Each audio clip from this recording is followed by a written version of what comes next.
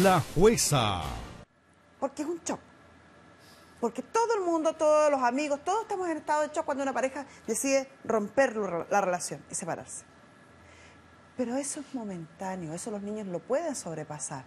Hay millones hoy día de niños, de padres separados, que son felices, personas normales, que viven una vida normal y que tienen una buena relación con el papá y con la mamá. Porque finalmente entienden que no son los papás los que se separan, sino que es esta pareja de amor que se separa, pero que siguen siendo sus papás. Eso se entiende con el tiempo y esa herida de la separación se sana. Bueno, Pamela es la experta y lo puede explicar en más detalle. Pero, pero si a eso le sumamos, que yo creo que es lo importante en este caso, que este papá que se va de la casa descubro que no es el mismo papá que vivía conmigo, que es un señor que yo nunca conocí, que es un señor que yo no tenía idea que existía. Yo conocí un papá fiel, dedicado, amoroso, que amaba a mi mamá, y resulta que nunca fue. Porque todos esos años de conciencia que yo tengo que era súper fiel y súper amoroso, este señor era infiel y tenía una vida paralela, eso sí lo encuentro grave. Y peor aún, tenía una suerte de trato con mi mamá de aceptar esta fantasía. Claro, y mi mamá sabía y lo aceptaba. Entonces, actuaban delante de los hijos. Y que los hijos se enteren de que ustedes tenían esta performance, esta actuación delante de ellos. ¿Qué tanto daño le hace a los niños? Y eso es lo que Pamela le estamos preguntando. Eso es lo que le estamos pidiendo que nos explique. ¿Qué daño les hace a los niños darse cuenta que durante 17 años vivieron creyendo una cosa cuando en realidad era otra cosa? Es verdad que su hija adoraba a su papá. Lo sigue adorando y su papá sigue siendo importantísimo en la vida de ella. Y puede seguir siendo un excelente papá. Y no hay problema. Y sigue siendo un muy buen papá. Y en eso su hija no tiene ningún reparo. Ojalá. La pena de su hija por cómo ustedes destrozaron la imagen que ella tenía de ustedes. Habría sido mucho más sano que su hijo hubiera entendido que los papás estaban teniendo problemas, que los papás estaban discutiendo, así que se iban a tener que separar, pero que le iban a seguir queriendo. Nada de eso se le explicó a esta niña. Esta niña pasó de que un día estaban los papás juntos como una familia feliz, a que el papá desapareció, después la fue a buscar, le presenta a su nueva mujer y su mamá se lo pasaba llorando, hablando por teléfono y ella escuchaba las cosas que su mamá decía. Los dos acá. Ninguno de los dos se dio el tiempo de pensar en lo que estaban haciendo. Sí, toda la razón que acá don Fernando, el que peor se ha aportado, podemos estar de acuerdo en todo lo que quieran, pero en la forma en que ustedes tomaron la separación con estos niños, son los dos. Ninguno se sentó, que lo que deberían haber hecho los dos juntos, sentarse, decirle a los hijos, ¿saben qué? Ustedes no han visto pelear, estamos discutiendo, no habíamos querido contarles, pero vamos a tener que separarnos. Eso nunca pasó, es como si estos niños no hubieran existido. O sea, ellos tenían que descifrar solo la realidad. Yo hace, a ver, yo siempre he hablado con, con, mis tres hijos, aunque el niño chico no me lo entienda. Yo a veces me siento con ella, cuando me vivía con ella, me sentaba en la mesa y decía, eh, hijo, ¿sabes que yo te discutíamos con, con ella? y mis hijos arrancaban porque la, obviamente usted me va a decir, usted me va a decir que le contó a su hijo durante 17 años, hoy estoy saliendo con Rosita y ahora con Juanita, hoy ayer me durante, María. Durante el lapso que nosotros discutíamos, al final llegaba mi hija al lado mío, yo le decía, pero hija, tengo, tenemos problemas, eso pasa en toda familia. No, señor, usted no me no está entendiendo. ¿Me está entendiendo? ¿Qué pasaría si yo le dijera, esta es la mujer que usted conoció, ¿cierto? Usted está claro la mujer que conoció está claro con la mujer que usted vivió durante 20 años. ¿Qué pasaría si aquí hiciera pasar un testigo, entrara y dijera, yo fui el marido de esta mujer durante 15 años? Y todos los días ella llegaba a mi casa a las 7 de la mañana cuando el marido se iba y salíamos, íbamos a la playa, lo pasábamos regio y a las 6 de la tarde yo la pasaba a dejar a su casa. No me, no me, a ver. No le daría nada, pero quedaría con que se le destruye toda la historia que tiene con ella, ¿no? No. ¿Cómo es que? No. no, O sea, ¿usted cree que eso pasa? No, tampoco digo que pasa, pero soy maduro para decir que si, si hace 15 años que sale con esa persona es porque ya sabía lo que yo estaba haciendo. Y ella porque... En realidad cometió un grave error. Para él es normal, pues él lo hizo. Y probablemente lo va a seguir haciendo. De hecho, por la forma en la que lo está... con la forma en que lo analiza, porque cualquier persona normal, yo le digo, eso a esta señora de su marido, a este caballero de su colores, se mueren. Pero a usted no. Sí, normal. Toda la gente hace eso. Es que, a ver. Toda la gente tiene vidas paralelas. tengo una mente abierta. Más abierta que tú. Por supuesto. Ni si usted no lo dice, no me hubiera dado cuenta. ya. Sí, no. Yo creo, señor, que lo que usted no tiene son límites. Por no decirlo de una manera más fea. Qué bueno aclararlo. Una mentalidad abierta es cuando yo tengo la capacidad de entender que los otros pueden vivir su vida como ellos quieran. Sí. De ahí a traspasar y a dañar a otro no se trata de mentalidad abierta, se trata No. simplemente de falta de preocupación por el otro, autocentrado, y que yo elijo vivir mi, mi vida como yo quiero sin importarme lo que le pasa a los demás. Mentalidad abierta es que yo acepte que otras personas eh, quiera casarse con alguien chico, gordo, como sea. Que no necesariamente sea lo que yo hago. Que no necesariamente sea lo que yo hago, pero que tiene derecho a vivir su vida como quiera. Eso es mentalidad abierta. Cuando yo elijo dañar a otros, ya no tiene nada, no tiene nada que ver. con Es, es todo lo contrario. Es una mentalidad bastante restringida, Porque que solo ve mi mundo nomás y nada más, y lo demás no lo ve. Pamela, eh, hace un minuto le hicimos una pregunta a la señora Felicienda que a mí me impactó la respuesta. Por eso te preguntaba hace un rato y retomando el tema de lo que te preguntaba, si ella estaba realmente eh, viendo la luz, como decía ella, o habiendo superado, o, o dándose cuenta de la forma en que ella vivía. Porque yo le pregunté, si él no la hubiera dejado, ¿usted seguiría con él? Y me dijo, sí.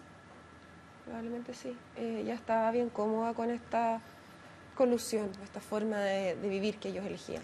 Y insisto, esa si forma de vivir podría haber estado mantenida en el tiempo si ellos no se hubieran estado haciendo daño. Y siendo así, ella podría caer nuevamente. La señora Felicinda necesita tiempo para poder pasar su duelo. En este minuto está súper débil. Están recién en las primeras etapas del duelo, los dos, los dos. Y al estar en las primeras etapas del duelo, eso puede hacer que, que- que esta decisión se pueda quebrar. Por eso es súper importante también que la señora Felicinda se mantenga firme, que viva su proceso. Ojalá que busque ayuda. El proceso de duelo de, de lo que, de un matrimonio ya es difícil. De duelo de una colusión como la que ustedes tenían, es mucho más duro el elástico, cuesta mucho más cortar el chicle. Así que mm, busque ayuda, manténgase firme, porque si no en este minuto ella está muy débil. ¿No han habido intentos de recaída desde No, enero a la no, fecha? no porque ahora como que fue muy... No iba a ir yo a... ¿Y él no. para hacia usted? ¿Y él hacia usted? No, tampoco. No, menos. Pamela, una última pregunta para ya ir cerrando. Eh,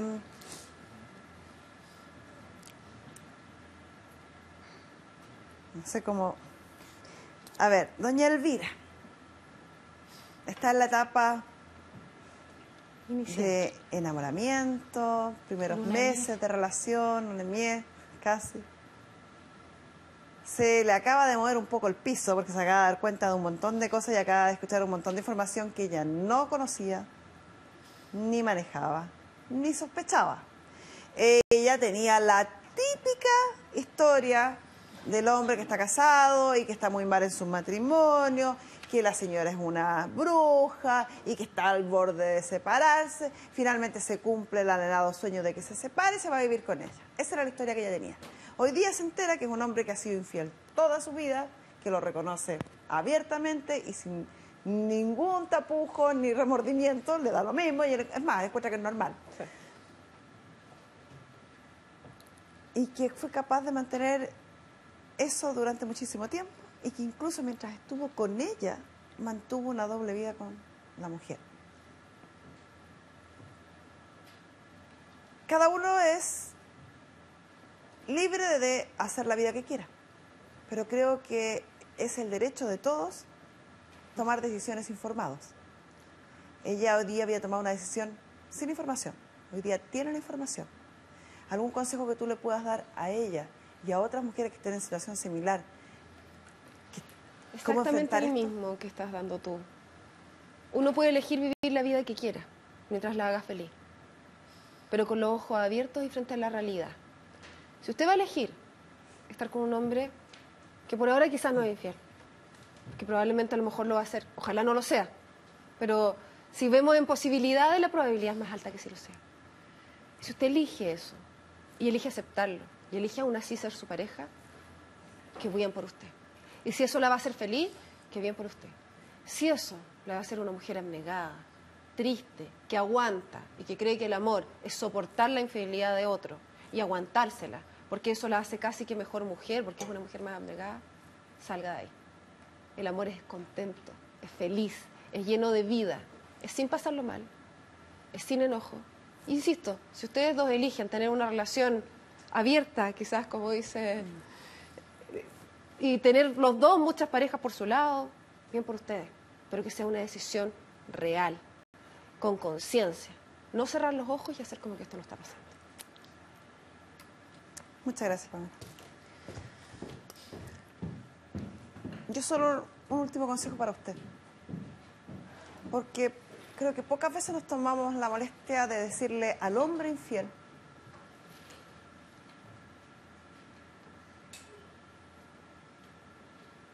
que se dé el derecho de ser feliz. Usted no tiene idea de lo que se está perdiendo. Usted cree que esa forma de vida promiscua, infiel, es lo mejor que puede tener. Y lo cree porque no ha conocido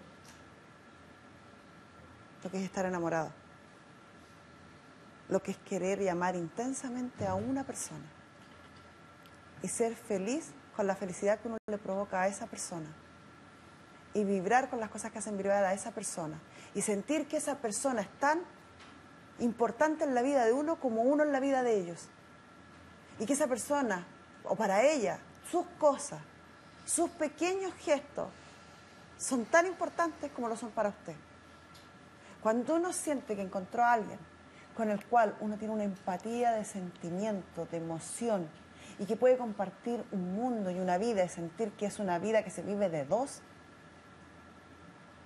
uno pisa diferente en el mundo, Señor. Y usted no tiene la más mínima idea de lo que es eso. Porque hasta ahora se va seis meses, Señor. No tiene idea. Estoy sintiéndolo. Estoy sintiéndolo. Cuando lo sienta, aclárelo. Cuando lo sienta, cuídelo. Porque hasta ahora nadie podría pensar que usted está en esa situación porque lleva recién seis meses. En seis meses uno se está conociendo. Eso no es el amor del que yo le hablo. Y eso con mayor razón me da certeza sobre que usted no tiene idea, Señor. Y lo, lo, digo con tristeza, porque a la edad que tiene se ha perdido una cosa maravillosa en la vida, porque ha decidido vivir la vida como todos ya hemos escuchado. Insisto, no es que yo me quiera entrometer ni decirle cómo vivirla, solo le advierto que se está perdiendo algo maravilloso.